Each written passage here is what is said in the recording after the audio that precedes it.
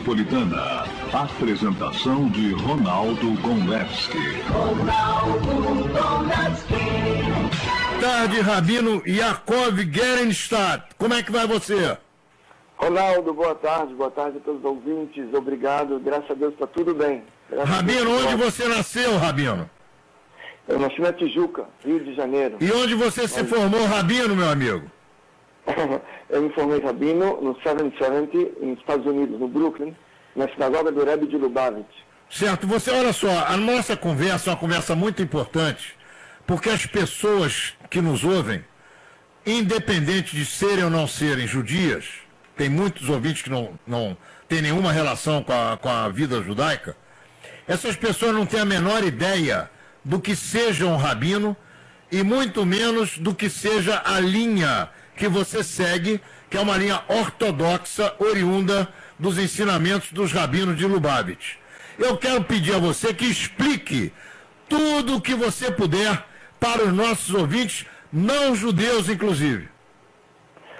Perfeito, Ronaldo, perfeito. Bom, talvez uma breve apresentação. É, eu sou Rabino Yaakov Gerenstadt e estou aqui em São Paulo, no bairro do Brooklyn, Beit Chabad do Brooklyn. E nós trabalhamos... Tá, só para o pessoal entender, Beit Rabad é uma, é uma nomenclatura oriunda de uma linha do judaísmo ortodoxo. Vamos lá, Rabino. Isso, exatamente, ok. Nós trabalhamos aqui num projeto, num movimento diferente, talvez até da maioria dos rabinos ortodoxos hoje em dia. Nós ensinamos o judaísmo para todo, toda a humanidade, para todo o povo brasileiro. Normalmente o judaísmo originalmente é um pouquinho fechado, talvez devido até às perseguições que teve durante todos os séculos, na Idade Média, os judeus acabaram se fechando muito, principalmente o judaísmo ortodoxo. Porém, de acordo com o pedido do Rebbe de Lubavitch, de ensinar as sete leis de Noé, eu vou explicar daqui a pouco para todo mundo. Você, eu queria que você explicasse antes de qualquer coisa quem foi o Rebbe de Lubavitch e o que, que significa essa nomenclatura. Perfeito. O Rebbe de Lubavitch, veja, em cada geração, Deus coloca uma pessoa, um profeta, que ele é o líder da geração. É aquela pessoa que orienta, é um, é um grande rabino, um tzadik, um justo, uma pessoa muito elevada espiritualmente, uma pessoa que tem contato, conexão com Deus. É, nós somos testemunhos de várias e várias e várias profecias que ele avisou que ia acontecer e aquilo aconteceu. O Rebbe de Lubavitch, ele assumiu a liderança desse movimento chamado Rabado, vou explicar daqui a pouco, em 1950, logo depois da Segunda Guerra Mundial, onde o judaísmo ele estava decadente. Os judeus tinham medo de se identificar como judeu, é, é, dá para entender depois da Segunda Guerra. E ele levantou o judaísmo no mundo inteiro. Se, se, se o judaísmo ele, ele morreu com que idade? E em que ano? Olha, em 1994, quando ele tinha 92 anos, ele se ocultou. Eu não gosto de usar a palavra que você usou. Ele se ocultou fisicamente de nós. É, e ele é uma pessoa muito especial. Ele levantou, ele levantou os judeus do mundo inteiro. Ele fundou sinagogas, mais de 3 mil do mundo inteiro. Em cada lugar onde tinha um judeu, ele mandou um rabino. Por exemplo, eu tenho um cunhado que ele é rabino na Coreia do, na Coreia do Sul. Um outro cunhado que ele é rabino na Grécia. É, na Turquia também tenho. O meu filho, ele abriu uma sinagoga no Morro de São Paulo, na Bahia, para receber os, os visitantes lá, judeus que vão passear. Então, você tem no mundo inteiro sinagogas que ele abriu, ele levantou o judaísmo, é um profeta muito grande. Ele recebia as pessoas todo domingo, ficava seis horas em pé, ele distribuía dólares lá na sinagoga dele, dava um dólar para cada pessoa, junto com uma bênção. E cada pessoa que teve o prazer e o mérito de conhecê-lo, pode testemunhar sobre algum milagre que aconteceu, sobre uma bênção que ele recebeu. Eu próprio estive lá, estudei na sinagoga dele, me formei lá, tive o mérito, o prazer, a felicidade de passar na frente do Rebbe algumas vezes, receber esse dólar, receber essa bênção. Eu posso te dizer, é uma energia muito forte, é uma coisa muito especial. É difícil a gente expressar por palavras o que a gente sente lá. Ô Yakov, eu quero te fazer uma Sim. pergunta. Sim. Depois você pode completar teu raciocínio, eu vou abrir também para os meus companheiros de mesa e para os ouvintes, se quiserem te fazer perguntas, que o façam com toda a liberdade, como é o espírito do nosso programa. Aqui todas as pessoas falam o que elas querem falar com responsabilidade e o microfone é franqueado.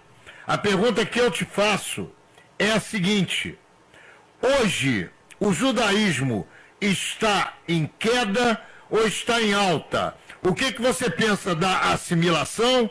O que, que você pensa dos Bnei Noar? Que eu quero que você explique o que, que são. E o que, que você pensa dos Bnei Anusim? Que eu também quero te pedir para explicar. Ok, então vamos lá. Hoje o judaísmo está totalmente alta, Ronaldo.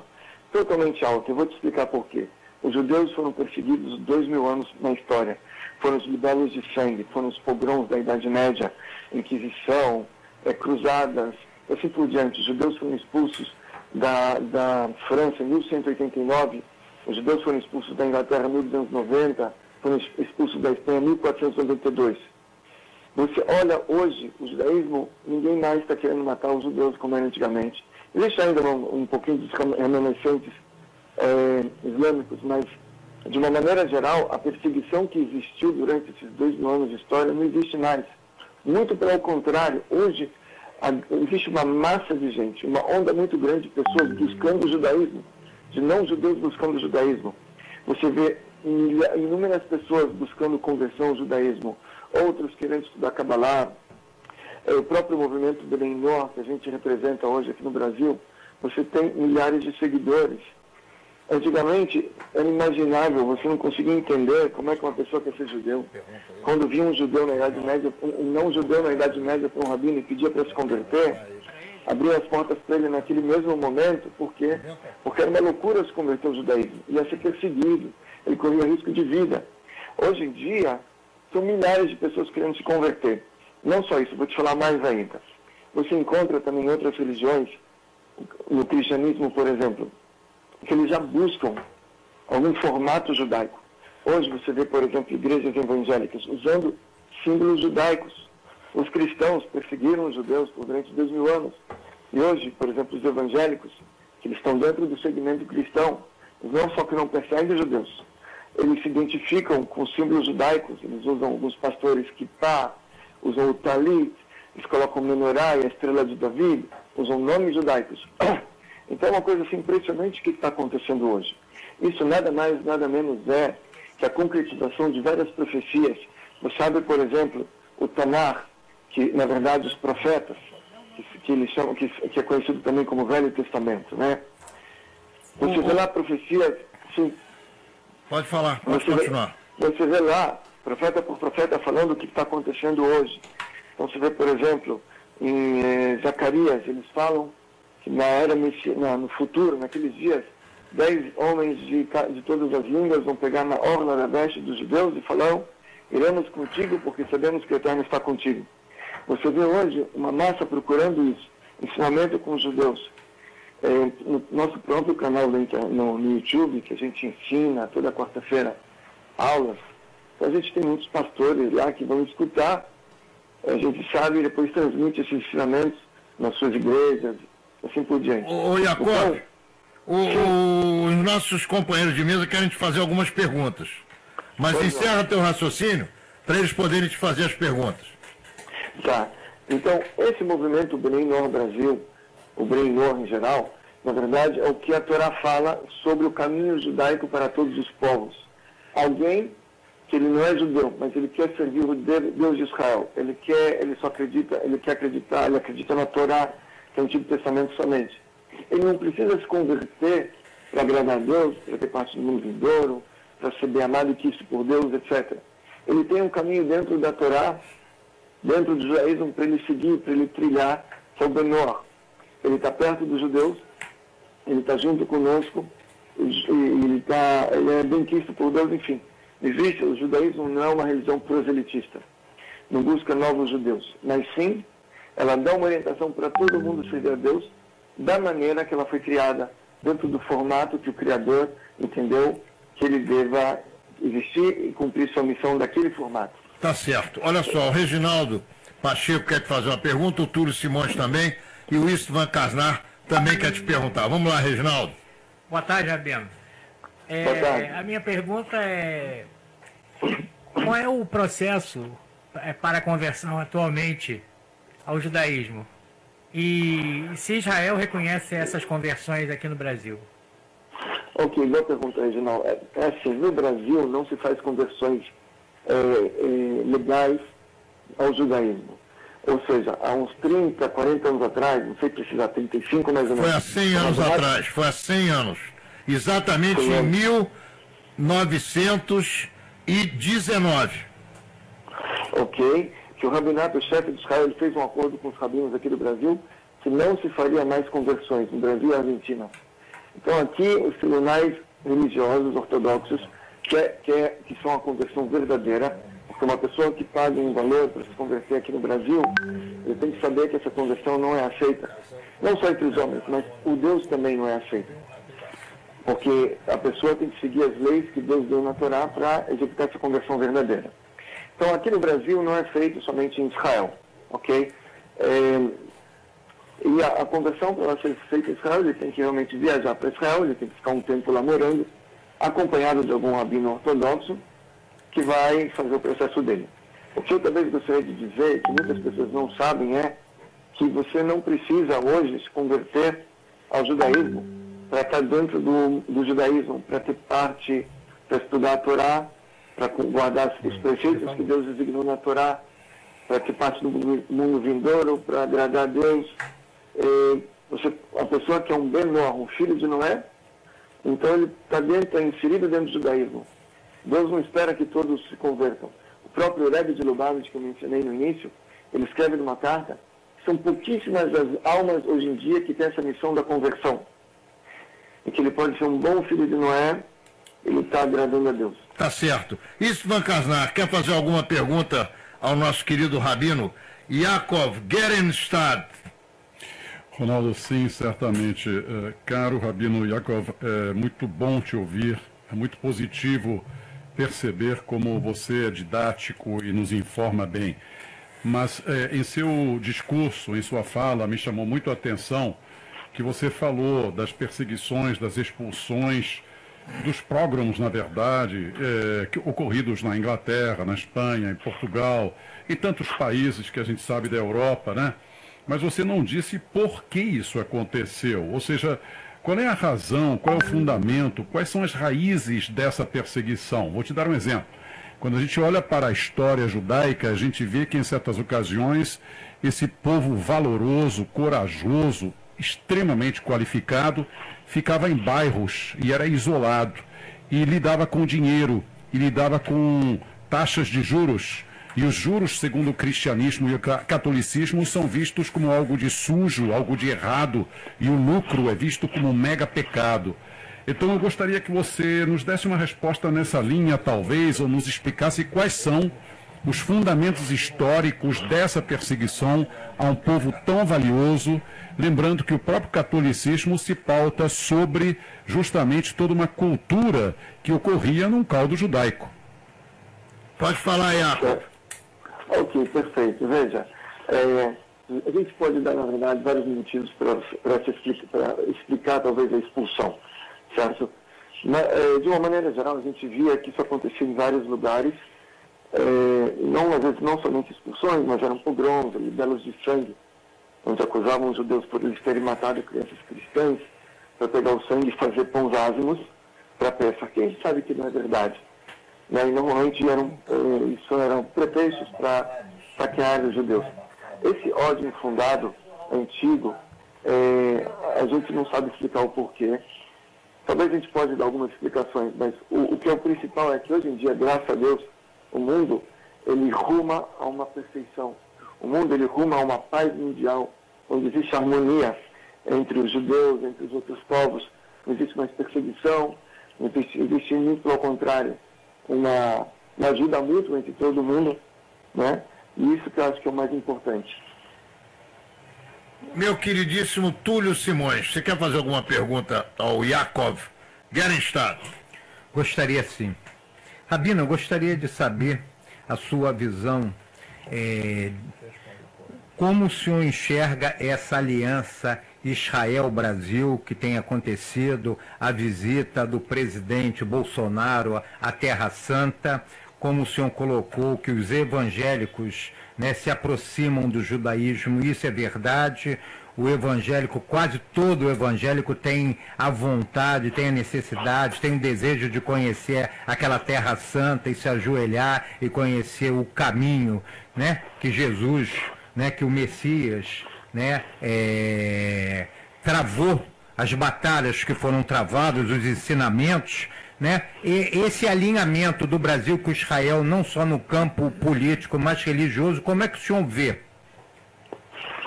Olha, eu acho muito positivo, na verdade, essa ligação, esse alinhamento entre os dois, entre os dois países. É, se você me permite, eu vou fazer uma pequena introdução sobre esse assunto pela Kabbalah. Você sabe, está escrito que o nome Brasil originalmente vem da palavra hebraica Barzel. Barzel significa ferro em hebraico. Por quê? Porque o, o Brasil vem do pau-brasil. Era uma madeira que ela tinha uma tonalidade um pouquinho avermelhada e ela também tinha dificuldade em boiar, o que dificultava o transporte fluvial. Então, baseado nisso, eles apelidaram essa madeira de pau-ferro, só que como os colonizadores aqui do Brasil, muitos deles eram cristãos novos, eram judeus que tiveram que fugir de Portugal para cá, então eles apelidaram essa madeira de pau-ferro pau-brasil, que Barzel em hebraico é ferro. O Barzel em hebraico, pela Kabbalah, está ligado com energia, energias negativas.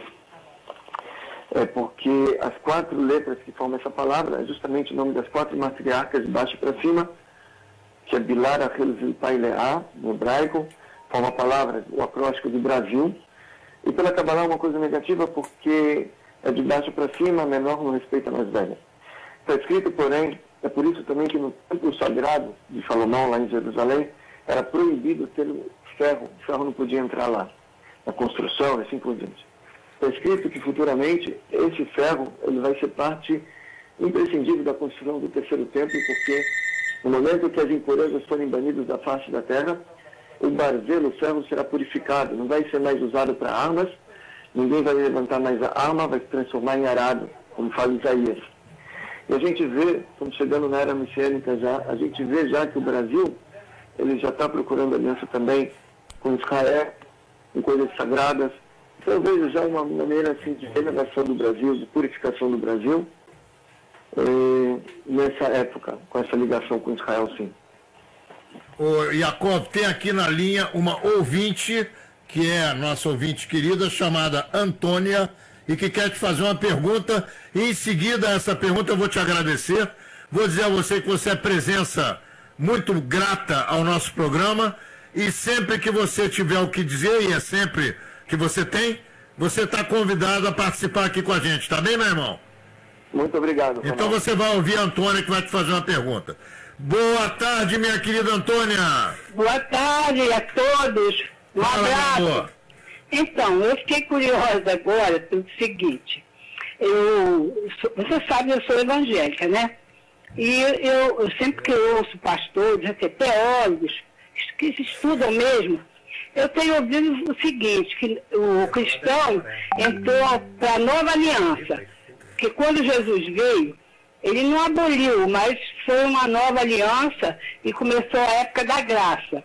Então, eh, falando que o eu gostaria até de saber o nome de alguns pastores que buscam a religião judaica, até porque eu não tenho nada contra os judeus, eu acho que ninguém tem, cada tempo que, que o tempo passa, né? Ô, Antônia, vai... Ei! eu não gosto de judeu, eu gosto de judia. eu, eu quero entender que ele tratou para ele me responder. Aí, logo mais à noite, eu vou ligar para vários é, mensagens para vários pastores que eu conheço, para saber, para eles me, me, explicarem, porque eu fiquei curiosa. Tá então, bom, então vamos ouvir o Rabino, tá bem, minha querida? Tá bom. Um beijo tá para você, obrigado beijo. pela participação. Fala, Yakov. Ok, pelo que eu entendi da Antônia, ela questiona é, a nova aliança, é isso, né? Pelo que eu entendi. Então, é, pela visão judaica é o seguinte, Deus ele se revelou no Monte Sinai são 600 mil homens que saíram do Egito de 20 a 60 anos, 600, 600 mil pais de famílias numerosos. A gente tinha no Monte Sinai 5 a 6 milhões de pessoas presentes ali. E todo mundo concorda, judeus, cristãos, muçulmanos, que Deus se revelou naquele momento, todo mundo acredita nisso, e fez um pacto com o povo judeu. Entregou a Torá, que é o Antigo Testamento. Lá na Torá, ele escreve várias repetidas vezes que é um pacto eterno, o pacto não será removido em várias, várias passagens, né? Então, se alguém diz que esse pacto foi removido e que agora existem outras ideias e que elas, os prefeitos foram ordenados aos judeus não são mais vigentes, então tem que trazer Deus de novo aqui para dizer que, olha, eu estou desistindo do pacto. Mas no momento que Deus, pessoalmente, ele vem e faz um pacto, escreve lá que o pacto é eterno, então esse pacto eterno não dá para ser removido, né? Eu não sei se eu respondi ela, não sei se ela perguntou. Respondeu sim. Meu querido Rabino, um abraço para você, muito obrigado pela tua, tua participação.